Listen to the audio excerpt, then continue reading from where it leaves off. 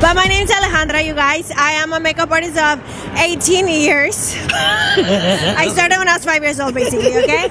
So, yeah, in 18 years, I've been blessed to love my life every day. What is the new thing that's happening with TNT? Well, there's many things that are happening with TNT. We're busy 24/7. You know, we never sleep. We have artists working all day. So we're an agency.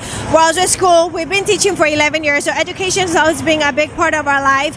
We do classes all over the states, uh, worldwide. Actually, I'm getting ready. My next tour is gonna be in. I'm gonna be all over South America, Mexico, England, Italy, like so many places next year coming up. That's amazing. Yes, but the new thing with TNT agencies, we're launching our cosmetic line pretty soon, which we haven't even officially launched Adamme, and just because of social media, we are already sold out of Oh so many things, and we haven't been able to launch yet. So that's coming up soon in the next couple of months. We'll have a big launch online, and then you'll be able to. I can't really talk much, but you're gonna be able to see it in our major uh, stores pretty soon. So I'm definitely, Oh gosh, yes, I'm so definitely exciting. excited. You know, there's so many things happening.